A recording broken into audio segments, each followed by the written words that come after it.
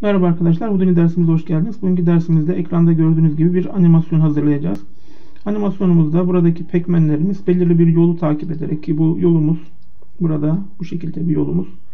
Bunu takip ederek bu dağımızı tırmanıyorlar ve bu buradaki animasyonumuz bir parçacık animasyonu ve buradaki e, dağımızı aşacak şekilde e, hareket ediyorlar. Buradaki parçacık animasyonu olmasının avantajlarını kullanarak bunların değişik kuvvetlerden ve yer çekiminden de etkilendiğini ve birbirleriyle de etkileşim halinde olduğunu öncelikle belirtelim.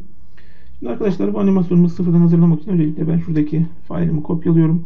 Yeni bir dosya açıyorum ve buraya bir geometri nesnesi oluşturarak bu geometri nesnesinin içerisine girip buradaki faili silip buradaki pekmenimizi yapıştırdım.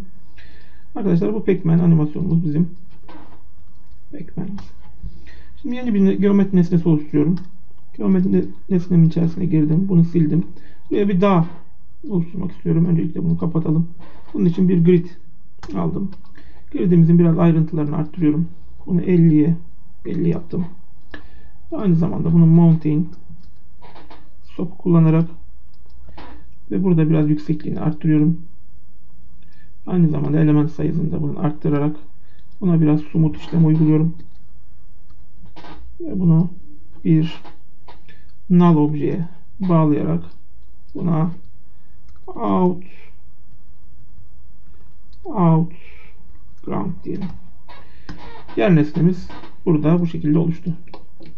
Şimdi arkadaşlar bir line oluşturacağım. Buradaki yolumuzu rastgele yollarımızı oluşturmak için bir line nesnesi oluşturuyorum. Line nesnemizi açtıktan sonra bunu da template olarak açalım. Line'ımız bu şekilde.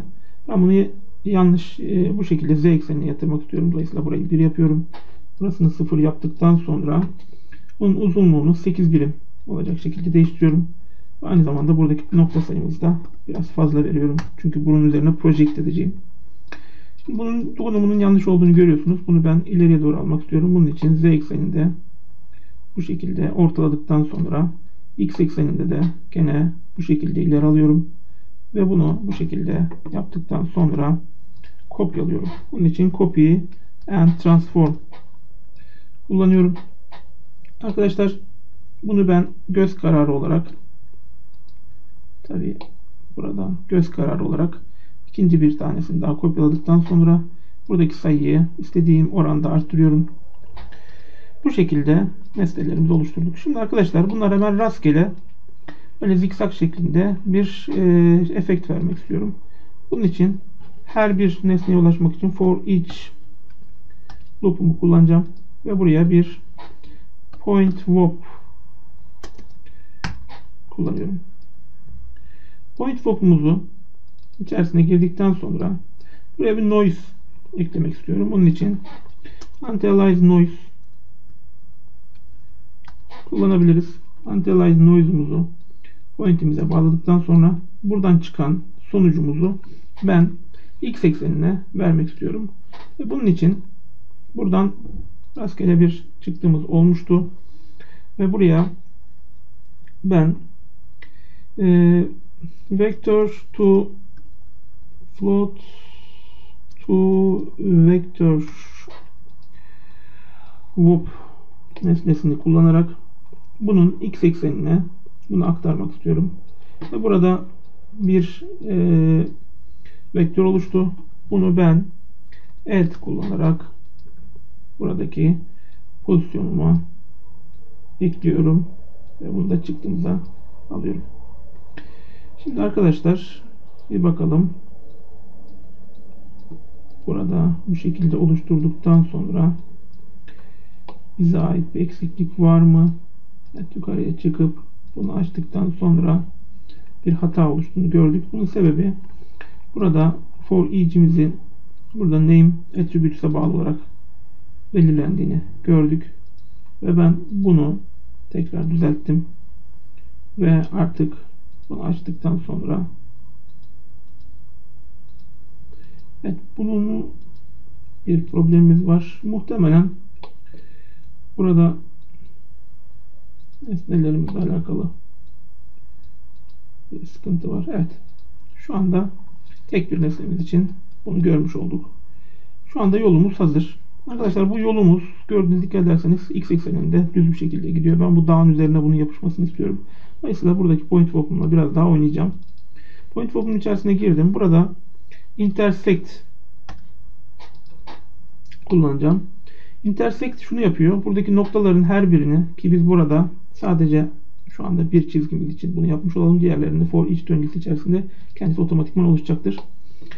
E, intersect e, birkaç girişi var. Bunlardan bir tanesi file girişimiz.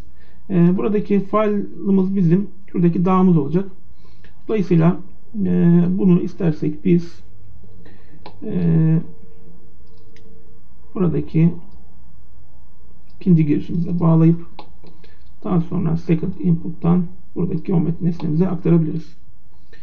Daha sonra buraya bir e, bunun bir ray orijine ihtiyacı var. Arkadaşlar burada bunun bu şekilde project edilebilmesi için aşağıya doğru tabi intersect içerisinde bunu buradaki ray direction'ımızı biz eksi 1 yapıyoruz ki e, z ekseninde e, y ekseninde bunu project edelim.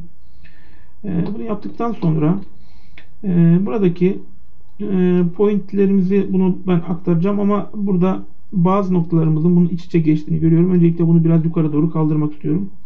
Ee, bunu yapmak için şurada daha önceden hazırladığımız flat vektör de y eksenine bir constant ekliyorum. Konstantımızı biraz arttırırsak bunun evet şu anda yanlış bir yere eklemişiz bunu. Bunu buraya ekleyelim. Biraz yukarıya aldığımızı gördük. Bu bizim için yeterlidir. Diğerleri için de yeterli olacak. Bunu yaptıktan sonra buradaki e, noktalarımızın her birini ben ray orijinime ekliyorum. Ve ondan sonra buradaki word position'ımızı da buraya eklersem bu şekilde bunların eklendiğini gördüm. E, burada bunun bu şekilde olmasının sebebi e, bizim intersect'imizde buradaki ray direction'ımızın yetmemesi. Yani buraya kadar yetmemesi. Bu yettiği yerlerde düzgün olduğunu görüyorsunuz. Mesela bunu biraz daha küçülteceğiz. Küçülttükçe bunun buraya projekte olduğunu gördük. Dağın üzerine yapışmış oldu. İsterseniz bunu biraz daha yumuşatabilirsiniz. Yumuşatmak istemiyorsanız bu şekilde kalabilir. Daha sonra arkadaşlar bakalım diğerleri için de geçerli mi? Evet yolumuz geçerli. Şimdi ben buradaki başlangıç noktası olarak en baştaki noktalarımızı almak istiyorum. Bu noktalarımızın özelliği burada numaralarımızı açacak olursak hepsinin sıfırla başlaması. Dolayısıyla ben burada bir grup oluşturuyorum. Grubumuz değil grup oluşturacağız. Evet. Bir grup oluşturuyorum. Bu grubumuzun e, başlangıç olsun veya baş olsun. Start diyelim. Hadi. İngilizce. Start noktamız olsun. Tabi buraya yazmayacağız bunu. Başlangıç noktamız 0 ve buraya da start grubu olsun bunun ismi. Bir grup oluşturdum ve bu gruplarımızın burada oluştuğunu görmem gerekiyor. Tabi buradaki grubumuz primitive değil points grup olacak. Bu şekilde dikkat ederseniz sadece başlangıç noktalarına bunu eklemiş olduk. Bu daha sonradan benim e, bunları diğerlerini sildikten sonra sadece bu noktalarım kalacak bana ve bunlar da benim başlangıç noktamı oluşturacak. Şimdi devam edelim isterseniz. E, başka nelere ihtiyacımız var? E, ya da bunları yeri geldikçe yapmış olalım. Şimdi bundan sonra burada tabi bizim bu buna bir null objeyi ekleyebiliriz. Buna da out lines diyelim. Outlines'ımızı da buradan oluşturduk. Sonra arkadaşlar buradan biz bir delete kullanarak burada daha önceden oluşturduğumuz start grubunu oluşturuyorum. Burada points olarak seçtim. Ve burada e, delete'imizi açtığımız zaman gördüğünüz gibi sadece sıfırı sildi. Ama ben burada delete non-selection seçtiğim zaman sadece benim ihtiyacım olan noktaların kaldığını gördük. Ve burası da benim emitter'ım. Bunu da bir null objeye aktarıyorum. Ve buna da out emitter. Evet. Şimdi bundan sonra ne yapacağız? Arkadaşlar bundan sonra bir e, e, Pub Network Pub Network kullanacağım. Pub Network'ümün emitter'ını birinci girişine aktarıyorum. Buradan parçacıklarımın aktarılmasını istiyorum. Ve bu şekilde Pub Network'ümü açtım. İçerisine girdim. Burada ben all points ya da points diyelim. Bunu dedip play'e bastığım zaman parçacıklarımızın bir şekilde hareketlendiğini e, fark etmişsinizdir. Parçacıklarımız oluşmaya başladı. Ama ben sadece bir tane parçacık oluşmasını istiyorum. Dolayısıyla burada buradaki rate değerimi ya da bunu biz istersek all geometri diyebiliriz. Ve bunu sadece ben başlangıç frame'inde oluşturmasını yani bir tane nokta oluşturmasını istiyorum. Şimdi arkadaşlar bu bir noktamız oluştu. Fakat e, burada dikkat ederseniz herhangi bir velocity e, hız değerimiz olmadığı için burada herhangi bir hareketlilik görmedi. Şimdi velocity'mizi oluşturmamız gerekiyor. Arkadaşlar burada velocity'yi oluşturmak için yine burada for each dengesi içerisinde ben burada bir e, velocity değeri oluşturmak istiyorum. Şimdi nasıl yapacağız? Öncelikle buraya gelelim. Buradaki point numaralarımızı kaldıralım. Bir tane point alt seçeneğimi seçtim. Ve burada force adı altında burada güzel bir seçenek var. Burada h force diye bir şey var. Buradaki h force'umuz şunu yapıyor. Buraya bunun gidiş istikametine yani sıfırdan başlayıp ileriye doğru bir e, vektör oluşturuyor. Yani tanjant vektör oluşturuyor. Dolayısıyla bu vektörü biz velocity olarak kullanabiliriz. E, burada bunu oluşturduktan sonra şöyle bakalım. Dikkat ederseniz ismimiz h'dir olarak adlandırılmış. E, istersek biz bunu h'dir değil de burada ne yapabiliriz? Rename e, attributes seçeneğini kullanarak rename attributes güzel bir e, bunun içerisinde pek çok şeyi kullanabiliriz. Aynı silme özelliği de. Mesela burada aynı zamanda hf diye bir şey de oluştu. Bunu isterseniz silelim öncelikle. hf'i tabii küçük harflerle hf'i sildik. Daha sonra buradaki h'dir dir seçeneğini ben V olarak değiştiriyorum. Velocity olarak değiştirdim. Dolayısıyla bir velocity, başlangıç velocity değerisi değeri oluşturmuş oldum. Şimdi bunun içerisine girdiğim zaman tekrar buraya dönelim. Play tuşumuza bastığımız zaman parçacıklarımızın bir şekilde hareket ettiğini görüyoruz. Ama bizim istediğimiz istikamette değil. Başlangıçta verilen velocity istikametinde bunlar hareket ediyorlar. Dolayısıyla biz bunu istemiyoruz. Burada ne yapabiliriz? Ona bakalım. Şimdi arkadaşlar burada isterseniz bir attribute oluşturmak istiyorum gene. Bunun için gene ben points bölümüne geldim. Bunu da daha sonradan parçacıklarımızın büyüklüğünü ayarlamak için kullanacağım. Burada keep scale değerini add scale diyorum. Burada delete channel dedikten sonra bunu 0.3 veya 0.2 gibi bir büyüklüğe yani yarıçapı 0.2 olacak şekilde bir e, parçacık büyüklüğünü verdim. Daha sonra burada pub network'ümüz içerisinde bize lazım olacak. Tekrar buraya gelelim. Arkadaşlar şu buradaki merge silebiliriz. Buraya ben pub wop pub kullanıyorum. Şimdi pub wop'la ne yapacağız? Ee, şunu silelim. Evet. Pub wop'umuzda ne yapacağız? Pub wop'umuzu kullanabilmemiz için öncelikle ben buradaki Pub Network'ümüzün içerisine buradaki line'larımızda ikinci girişini alıyorum. Ve burada Pub Network'ümüzün input kısmında bunu first input bunu da second, second input yani şuradaki değerimi aldım. Burada hop hop'un içerisine girdim. Şimdi arkadaşlar buradaki velocity değerimi ben almak istiyorum. Ee, bunun için open bir ee, Open Point Cloud kullanacağım.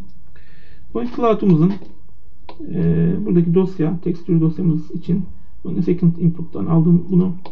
Ve burada query position system'ımızda position'ımızdan aldık. Burada bir e, point cloud oluşturduk. Bunun için bir filter seçeneği kullanıyorum. Point filter şunu yapıyor. Burada aradığı yani bunun radius değeri dediğimiz 0.1 verilmiş. Bunu da arttırmamız gerekecek. Dolayısıyla burada öncelikle ben radius değerimi e, burada promote yapıyorum. Ve promote yukarı çıktıktan sonra bunu promote değerimi 1 yapıyorum. Biraz daha radius değerimi hani araması daha büyük olacak şekilde daha büyük bir yarıçapı olsun istiyorum. Bu şekilde içerisine girdim. Ve burada PC filter şunu yapacak. Ee, bana buradaki çizgimizin e, şeyini getirecek. E, velocity değerini getirecek. Dolayısıyla buradaki velocity değerimizi aldık. Şimdi velocity değerimiz e, benim mevcut velocity'me eklemek istiyorum bunu. Çünkü buradaki yer çekiminin ve diğer etkilerle beraber oluşacak velocity'ler de bizim için önemli. E, dolayısıyla burada bir add kullanıyorum. Ve ben buradaki velocity değerimi buradaki velocity değerine ekliyorum. Şimdi e, arkadaşlar bunu yaptıktan sonra bunu ben velocity'me ekledim. Ve bir hız vektörü oluşturdum. Yalnız bunun oldukça hızlı olduğunu göreceksiniz. Dolayısıyla bunun için de ben bir e, normalize yani buradaki vektörümüzün uzunluğunu biraz daha küçültmek istiyorum. Ve bunu normalize ettikten sonra buraya bir çarpan ekleyeceğim. Bu çarpanımızı buraya ekledim. Çarpanımızın ikinci bileşenine bir constant ekliyorum. Ve burada constant demeyelim. Silelim. Ben bunu promote ediyorum. Evet, promote parametre dedim. Onun içerisine gelip bunu biz speed yani buradaki hızımızı belirleyecek bu çarpanımız. Buna da gene default değeri olarak 0.4 verelim. E, ve e, buradaki input evet, buna da gene speed diyebiliriz. Burada hazırlamak istediklerim bu kadar. E, şimdi bunu yaptıktan sonra neler değişti bir beraber bakalım. Eğer bir problem olmazsa burada play tuşumuza basmamızla beraber bakın artık çizgilerimiz üzerinde hareket ediyor. Tabi burada şuna dikkat edeceğiz. Bizim burada 240 frame'lik bir e, aralığımız var. Bu 240 frame bunun içerisinde yetmiyor. Çünkü bizim hızımız oldukça düşük. Dolayısıyla burada promote etmemizin sebebi buydu. Bunun hızını biraz arttıralım. 0.9 yapalım mesela. Ve bu çizgimizi tamamlamasını istiyorum ben. Dolayısıyla çizgimizi tamamladı. Biliyorum. Evet. Şu anda çizgilerimiz tamamlanmış oldu. Başka ne yapabiliriz arkadaşlar burada? Ee, burada bizim bir zemine ihtiyacımız var. Dolayısıyla buradaki zemin olarak da buradaki gridimi kullanacağım. Gridimi öncelikle şuradan alıyorum ve bunu ben extrude poly extrude kullanacağım. Poly extrude kullandığım zaman burada transform extrude dedikten sonra enter tuşuma bastım. Ve burada bunu biraz yaklaştırıp aşağıya doğru bunu extrude ediyorum. Bunu yapmamın sebebi de e, burada Outback'te seçtim. seçtim. Çünkü burada biz e, Collision Objects oluşturduğumuz zaman herhangi bir kalınlığı olmadığı zaman Collision Object'imiz düzgün çalışmayacaktır. Dolayısıyla bu şekilde bir e, Collision Objects oluşturdum. Ve buraya da gene bir null ekliyorum. Ve bunun içinde out out aslında buraya ground dememiz lazımdı. Ground 1 diyelim buna da. Şuna da out diyelim. Herhangi bir şey dememize gerek yok. Out ground dedim. Evet. Burada bunun ground out ground'ımızı aldık. Şimdi artık bunu ben ee, bu dursun. Buraya girip bir tane statik obje oluşturuyorum. Statik objemin petini buradaki out ground'umu seçtim. Ve artık bunu seçtiğim zaman ve en başa aldığımda geldiğini gördük. Arkadaşlar bunu düzgün çalışmamayabilir. Burada collision değerini mutlaka görmekte fayda var. Dolayısıyla bunu kaldırdım. Burada şu anda dikkat ederseniz görünmüyor. Görünmemesinin sebebi iki tane sebep var. Buradaki laser scan değerini açtıktan sonra Buradaki bunun kalitesini biraz arttırıyorum. Mesela collision objemi görünür hale getirdim. Evet şu anda collision objem hazır. Bunu ben merge edeceğim. Burada merge seçeneğiyle beraber bunu buraya ekledikten sonra bunu buraya ekliyorum. Tabi burada merge'de sıra önemli. Bunu bir öncekini aldım. Ee, ve bunu yapmakla beraber bizim artık parçacıklarımızın yerle de bir ilişkisi oldu. Tabii ki buraya bir ne eklememiz lazım? Bizim gravity force'umuzu da eklememiz gerekiyor. Ee, gravity force'umuzu da ekledikten sonra iletişimimize bastığımızda dikkat ederseniz bunun tam üzerinden şekilde akarak geldiğini görmüşsünüzdür. Daha görünür hale getirmek istiyorsak burada ne yapabiliriz? Buraya bir pop e, sprite kullanabiliriz. Bunun için de buraya e, circle pick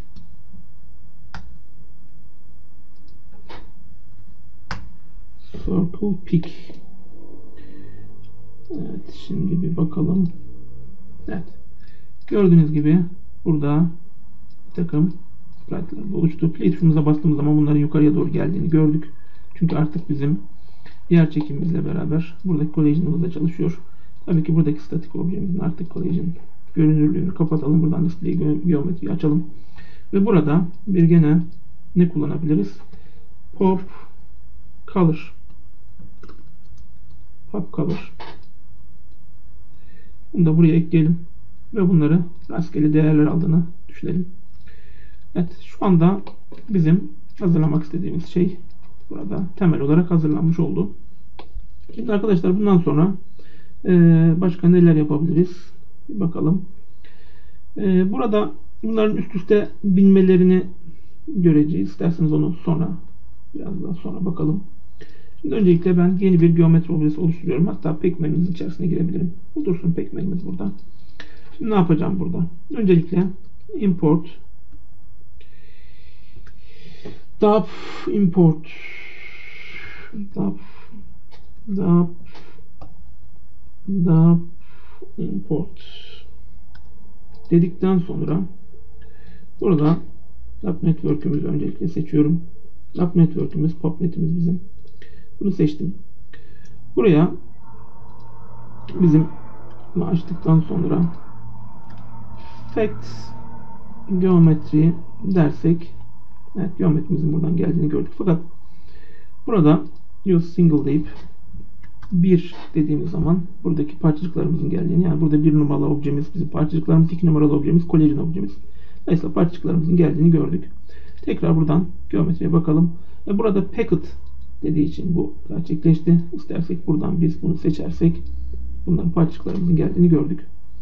Şimdi bu parçacıklarımızı buraya e, bu file'ımıza kopyalayacağız. Bunun için copy points seçeneğimizi kullanabiliriz. Buradaki pointslerimizi buradan file'ımızı da buradan alırsak ve açtığımız zaman başa döndüğümüzde burada bunların geldiğini gördük. Şimdi burada ne yapabiliriz? Biz bir transform işlemi daha uygulayabiliriz. Bunu biraz daha büyütmek için ve transform işlemi 2 yapıyorum. Burada parçalarımızın daha düzgün görüldüğünü gördüm. Pekmenlerimiz hareket etmeye başladı. Fakat pekmenlerimiz 8. kareden sonra çalışmadığını gördünüz. E, bunu düzeltmek için ne yapabiliriz? Burada time wrap time wrap güzel bir özelliği var. Bunu buraya açtığımız zaman arkadaşlar burada e, bunu isterseniz 8 frame olduğu için 8 burayı da 8 yapalım. Burada bir değişiklik yapmıyorum. Fakat ben bunu cycle, bunu da cycle yaparsam play tuşumuza bastığım zaman artık bunların bu şekilde devam ettiğini sonsuza kadar devam ettiğini gördük. Şimdi en son burada başka ne özelliğimizi ekleyebiliriz. Buradan şunu kaldıralım. Ait diyelim. Burada bir template olarak bunun görülmesinin sebebi nedir? Muhtemelen bir ekranla alakalı bir problemimiz var. Ya da benim fark edemediğim bir şey var. Şimdi şuna dikkat edelim arkadaşlar. Burada bunların üst üste bindiğini gördük. E, bunun olmasını istemiyorsak biz tekrar buradaki geometri objemizin içerisine girip tekrar bunu başa açalım. Ve buraya ben e, bir e, şey eklemek istiyorum. Top grain Hop grain. Hop grain tabi buraya değil. Benim pop network'ün içerisine giriyorum.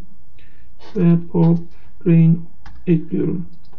Pop grain buradaki bu bunların birbirleriyle olan etkileşimini engelleyecektir. Bunu da buraya ekledikten sonra biz tekrar baştaki objemize dönelim.